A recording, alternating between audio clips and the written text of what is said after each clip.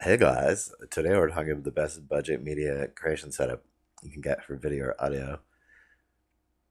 And you're going to be basing the computer on a Mac Mini, either an M1 or an M2. I'm running an M1, it's still totally awesome. And it's going to give you the best price performance if you don't want to like build stuff or learn Linux. Uh, yeah, you can make better things with Manjaro and a custom rig, So maybe I'll do another video of how I did all that. But if you just want something to get work done, this is the best idea. Uh, so you're gonna start with the base model, and it's important to buy M stuff. If you're using Apple, don't. Everyone's just dumping Intel things on Craigslist or Kijiji now. Don't pay more than $400 for anything until, no matter what it is. So sorry for all these people that bought three or four thousand dollar laptops from Apple that are all i7. Um, they're not worthless, but Apple's gonna age them out, or they're eventually stop doing updates. They're focus is not on Intel anymore, period. So don't put your money there. Uh, so just remember, it's not a PS5, but it is uh, integrated SoC, so that numbers you're used to for Windows won't need to make as much sense. Uh, but it is perfect for work. Let's look at. So you want to get. Oh yeah. This doesn't make a ton of sense to do the M2 Pro. Um, I would actually just buy two M2s and then network them and then do this use the second one as offline render machine. But uh, if you're thinking about this, just watch a bunch of YouTube about the Mac Studio versus this. This is already over our budget, so we're not going to talk about that. So you're gonna pick the base model, and then if you just need a computer, uh, eight gigs is totally fine. If you want to do video or 3D, uh, get the 16 gigs. I'm using 16 gigs since the M1 Mini basically came out, and I've never gone over. Keep in mind you can never upgrade this. You're just buying a slab of a machine.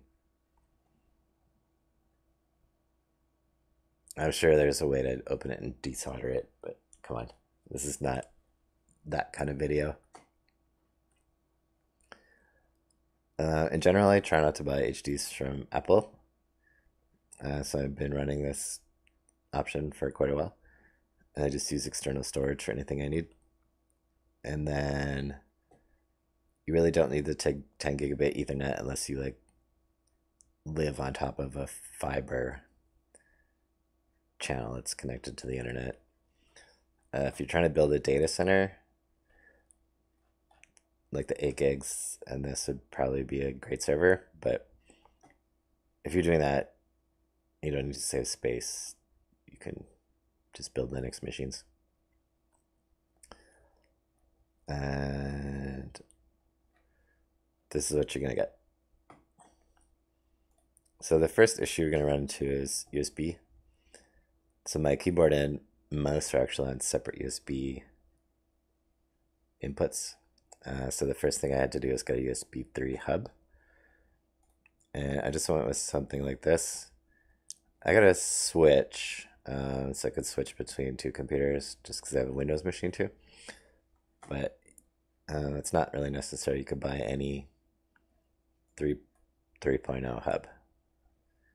Now keep in mind, Generally, this is not going to support charging unless you get one that has a separate power supply coming in the side of it.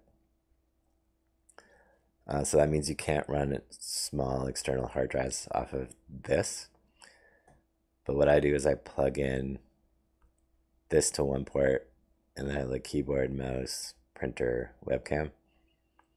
And then if I need to put a USB key, uh, I put the USB key the external hard drive in here. So just think about how many devices you actually use and buy a hub that's appropriate for that number of things. Keyboards and mice you should never buy used. That's disgusting. You might as well lick a toilet. Because people touch their face, touch the keyboard, never wash their hands, touch the keyboard over and over again all day. Any kind of hand grime is going to go in that keyboard. So if you want Apple keyboard, just get the basic whatever you need. Uh, you don't need Touch ID or any of that stuff. Why you want the Apple keyboard is these. This will actually work. The shortcuts. Uh, I have like ten keyboards. None of the shortcuts work.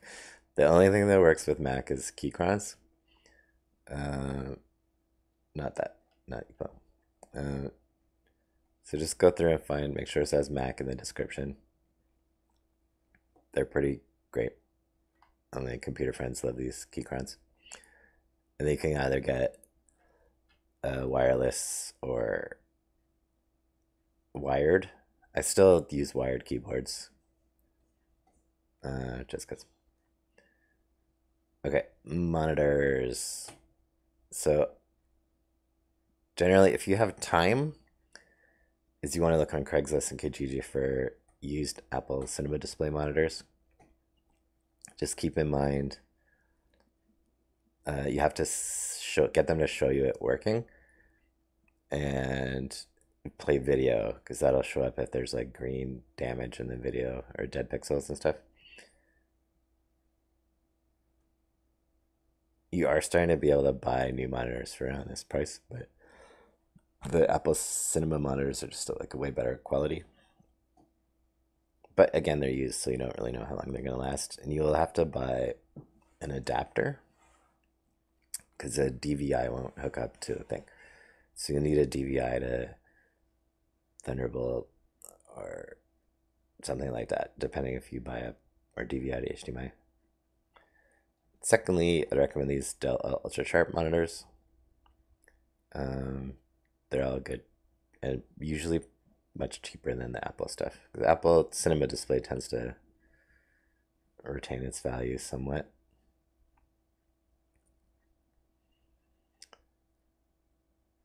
Um, this is not necessary. Okay, if you want to buy new monitors, generally for work, uh, I like these Asus Eye Care, and you can buy them in 24 27 or 30 or you can pay $100 more for the white one which i did just because i have a white keyboard and a white desk. Um, that's i didn't really realize i was paying that much more. But it looks cool. Uh, or, yeah so 27 it's actually cheaper than the 24 inch white one. Ugh. Oh, you can go up to 32. And then just make sure you're buying stuff with ports that the Mini has. So it does have HDMI. Or if this is going to be the second display, make sure that your hub has a, one of those two things. Okay, moving on. We only have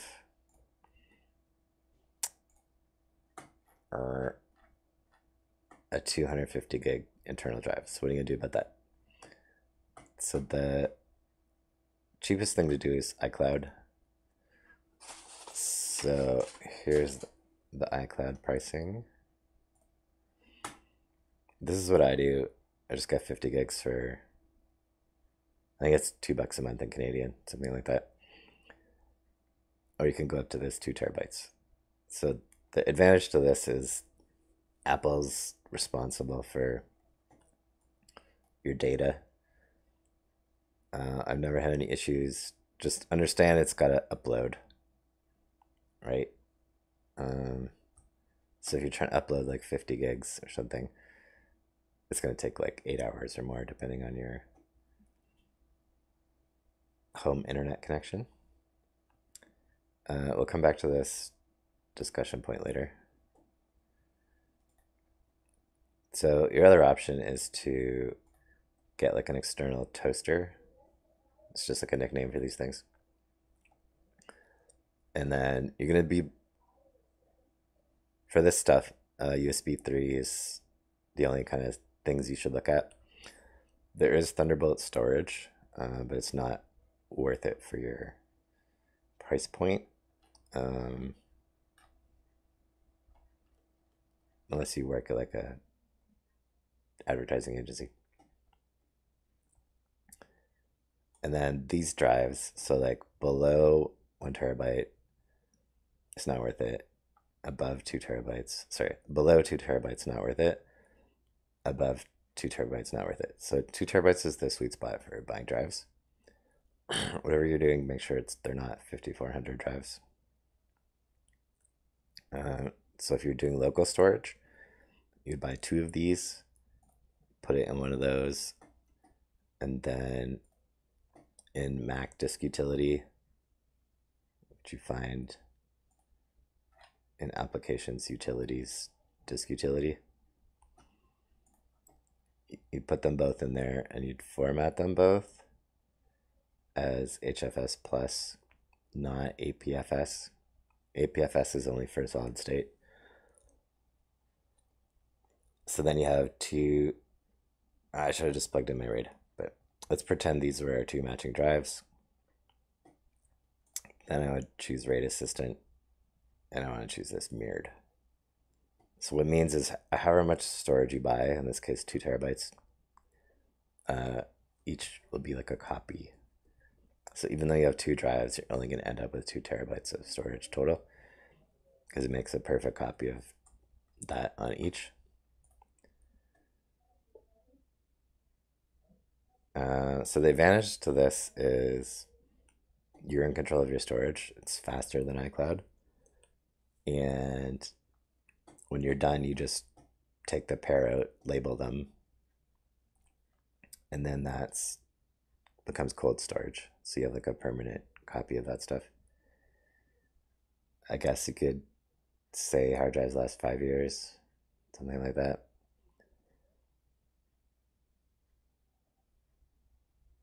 Um, the disadvantage is like you can drop them. I don't know. They're like local, right? So if you like knock them off your desk and that kind of stuff, or if you need your data and you're like traveling, things like that stuff. So if we look at this price point, every time you fill two terabytes, it's going to be double that. It's like 150 bucks of tax if you go back to the iCloud, uh, this is like two hundred dollars a year.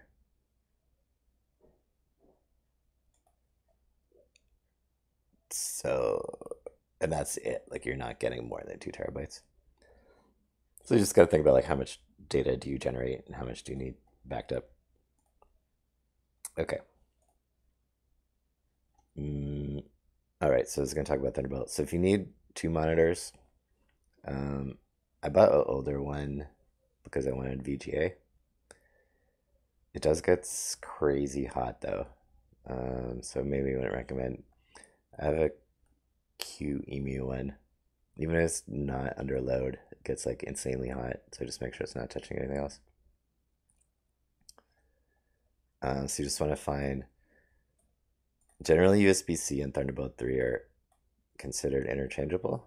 Uh, make sure that whatever you're buying says Mac in the description and check the reviews to make sure that someone said it works with their computer. Like whatever computer you have, try and find someone that mentioned that. Uh, one of the things I found with the external Thunderbolt docks, you're still not going to get two monitors or three monitors. Um, so even though it might have two video ports, you're only going to get one display out of it. There's one that says it supports three, but I don't believe it. Okay, so let's talk about. So this is the first storage option is just getting iCloud. Second is a pair of these in one of those. So I just don't keep anything almost at all other than like when I'm working on that day on my Mac mini hard drive and everything else goes on that that I'm not actively using. And then things that I don't care about, I'll just have on like an external two terabyte that I have on the USB 3. But none of my work goes on there. So just think about like, is your work worth $150? Um, but I think it's like a game or whatever I'm downloading that'll go on that other drive. That it doesn't matter if it breaks because it's not my work and replaceable. Okay. You could also plug your, if you want extra USB 3, you could also be plugging your hard drives into that. Just be aware of like power draw. So if it's something powered like this, it's okay. Uh, if it's just like a little dinky one, it might not generate enough power to draw over there. It'll look like your small hard drive is failing.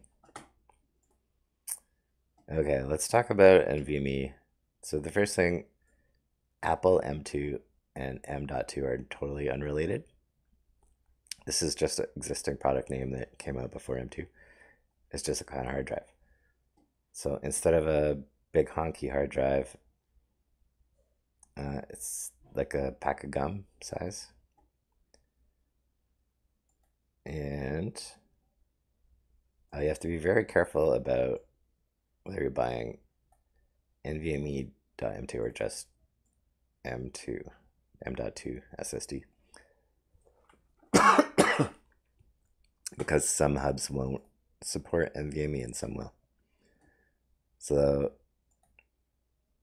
uh, I just for testing, I bought one of those and threw it in one of these, and then you just have like this little thing uh, that sticks out in the back of your mini. It was like cheap for an experiment, like 150 bucks, but it's pretty unnecessary. Um, like yeah, I can copy 30 gigs in like two minutes or something like that, but it's it's really not necessary for any kind of normal work unless you're doing like Unreal 5 and then just don't buy a Mac. It's kind of I did get it to run, but it's not worth it. Oh, let's talk about hubs before we talk about this. Okay, so let's say you do want to hub. So you have a lot of choices now. Uh, you just have to think about what do you actually need. So the base hub, I think they're like seventy dollars.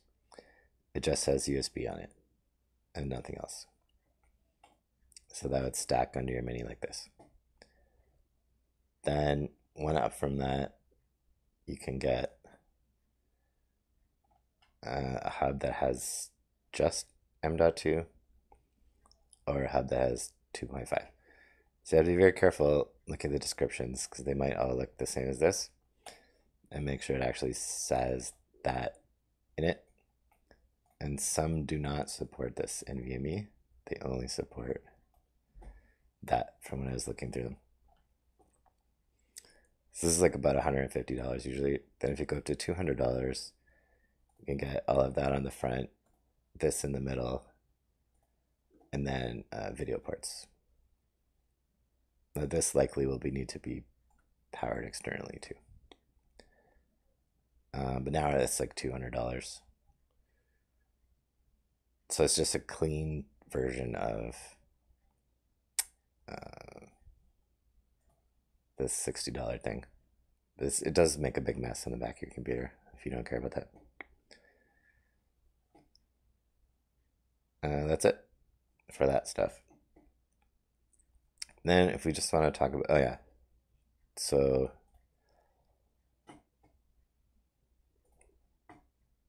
it's generally cheaper to buy this kind of SSD than to do the M.2. And this is more than fast enough for any media work that you're doing. Uh, so just look at your price points and like try and calculate how much data you actually need. This doesn't replace the mirror stuff. If you use a combination of a large drive in the hub and iCloud, that would at least give you some kind of backup protection. Uh, just don't trust these. any individual any individual hard drive will fail eventually, right? Uh, because these don't have any physical moving parts, there's less chance, but it's still possible. Okay, moving on to stuff that I just like to work with is the Contour Shuttle Express. Contour Shuttle Express. There's also a Pro one, but I don't like it because it's small. Smaller. Like I said, I have a big hand. I much prefer being able to just put my whole hand on that. Uh, so this is for editing. Sorry. And you can also, there's shortcuts for basically every program, Logic and Ableton and all that stuff. And you can set up the keys. So this is your jog, mm, sorry, it's probably motion sickening. The middle is the jog shuttle. And then you can program those keys for in and out, all that stuff. Okay. If you're doing music or film, you need monitor speakers. Uh, this monitor's nothing to do with the screen. It's studio reference monitor. So it's exactly this flat spot, flat response curve or near flat. So when you are making something, it doesn't get colored by the speakers. Uh, I have these, I think, or version of them, and I love them.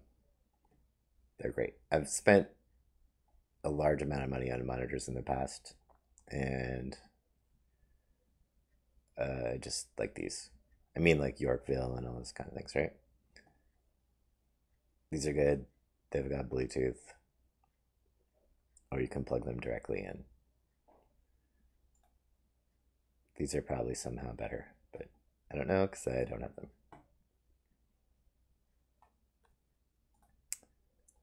I've spent hundreds of dollars on like three hundred dollar headphones and stuff before, not six hundred dollars one. But now I just buy cheap ones. I don't care as much. These are pretty good. Uh, why I like these, they have a guitar jack and a headphone jack. Um, you can plug one in each side, so you can like do physical gear equipment and have a, that being kind of monitored in one ear and have your master mix in the other. Um, for it does work with both. Oh yeah, this is the mic that I'm recording this with right now. So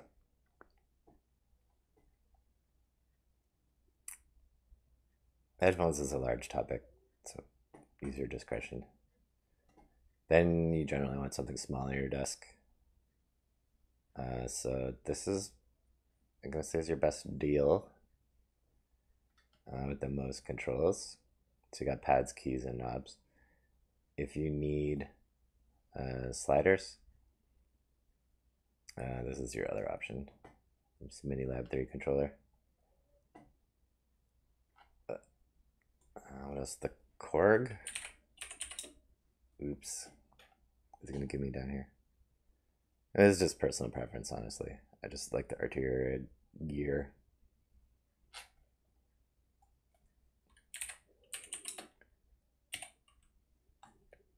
This is another good desktop option.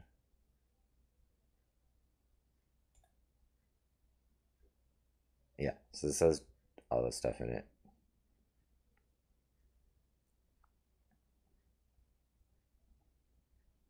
Of course, there's a lot of options too, right?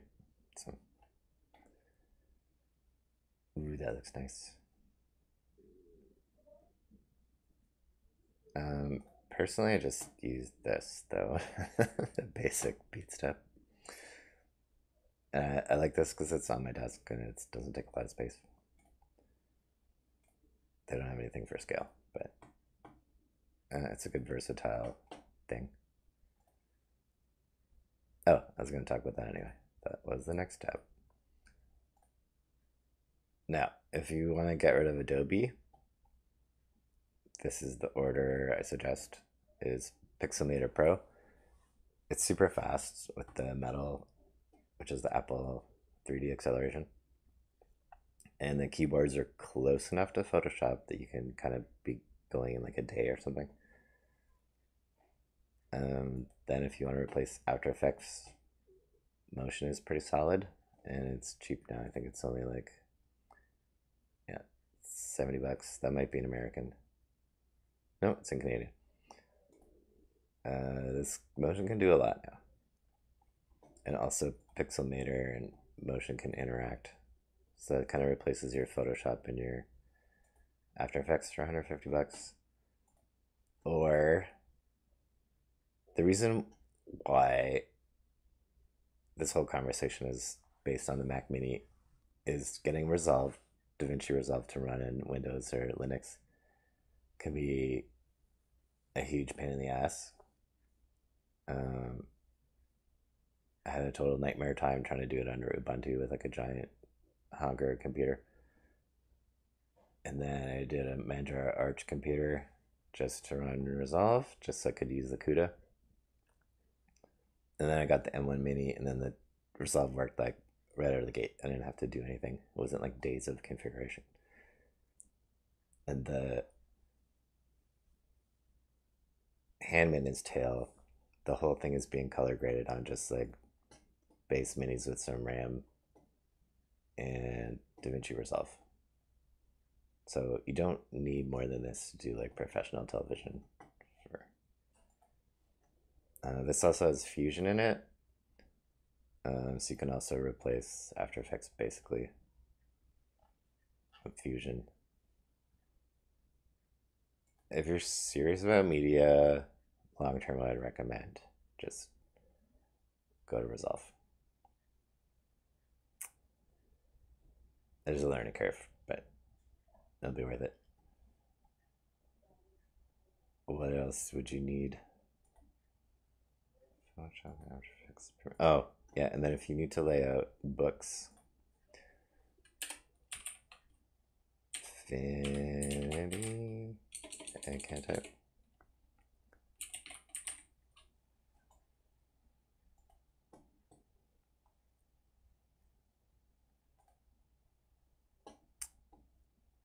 This is a great option. Again, it's a bunch of learning, but I have this on my iPad and you can start it on iPad and then take it into a Mac. I'd say like the only things that really work like that's GarageBand. Uh, yeah, for audio, I basically just use Reaper and GarageBand now. Whatever your audio workflow is, just switch to Reaper It's great. Uh, you can do everything in Reaper, but typically do things in GarageBand first. So I could go that GarageBand iPad, take it to the Mini, and then finish in Reaper. Or like every program or any app I use, I always eventually bring it into Reaper. In conclusion, get the base M2 upgrade to 16 gigs, and then get iCloud. it's like the cheapest, simplest thing. Whoop. One of these. Then, if you want a clean desk, you can start looking into hubs. This is going to be another $200 plus another 100 150 depending on what you spend here. And then uh, yeah, monitors generally recommend to go with the Eye Care because you're gonna look at it a bunch. And that's it. That was not it. I forgot the tool that I use the most for video is ScreenFlow. Um, so for years I used Final Cut and Premiere, and then I started using ScreenFlow. I think version four something like that. And then I think I'm on ScreenFlow 10 now. It's I just get everything done super quickly. And the reason why you do want to move to one of these instead of a an Intel computer. So I was rendering out video on MacBook Pro like this with ScreenFlow, and so if it had an hour long video, it might render out to like H264 1080. Maybe that would take like 50 minutes or an hour, like something like that. When I got this and I had the settings prepper um, in ScreenFlow, I can't sc- capture ScreenFlow while I'm running ScreenFlow, but I'd show you otherwise. If you set it to Apple hardware in your export, my renders to H.264 went to like 10 minutes versus an hour. Uh, and then I was like totally converted to the M1 or M2 minis at that point. And they don't get hot. That's the other thing I should mention. Even though they're like full load. The only time my mini ever got hot was when I was running an alpha version of Unreal 5 and it didn't have any processor throttling and it just started cooking the machine. So I just shut that off. But uh, so really, this is kind of like my power trio pixelmator. Uh, even just these two. All of here, this is my power trio. All images, I typically at some point will put through Pixelmator. All audio goes through Reaper. You could also edit video in Reaper, but don't. And then all video goes through ScreenFlow. This is just how what I think iMovie should have been and Final Cut and all that stuff. But that's just my opinion. And then if you want to get into more professional tools, use Resolve for video, uh, Motion for like more advanced animation. Like the cheapest way to animate is with Keynote. Um, you can just look for other YouTube videos about how to do that. And I was talking about book layout, I meant Publisher. Uh, this is a replacement for Adobe Illustrator. This is a replacement for Photoshop. Uh, I never use it though. I bought all of these, and because Pixelmator has vector mode, I honestly just end up doing most of my pixel and vector work in Pixelmator Pro. And then I do use Publisher though, because uh, nothing's replaced Publisher. Pages, I just laid out a book in Pages, and as soon as you need to leave the Apple ecosystem, it's like a nightmare. So, okay, that should be like your total media creation end to end, kind of no matter what you need to do for like the best price. That's the only things I didn't mention. Um, just the default YouTuber webcam is the this thing. 920. It's one of these.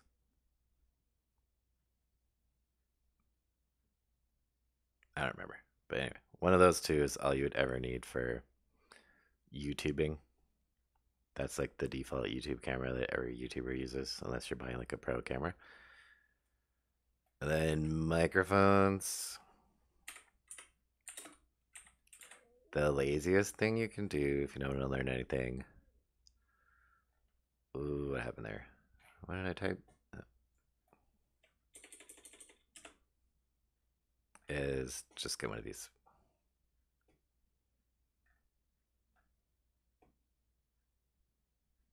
I'm not going to say this is the best mic choice, but it exists and it's easy. You don't have to learn anything, you just plug them in. Uh, I do have one. I had some issues with it. Uh, but otherwise, they're pretty solid and easy and high quality mics. You just point them at yourself and then just uh, make sure you set your input to the Yeti, and that's it.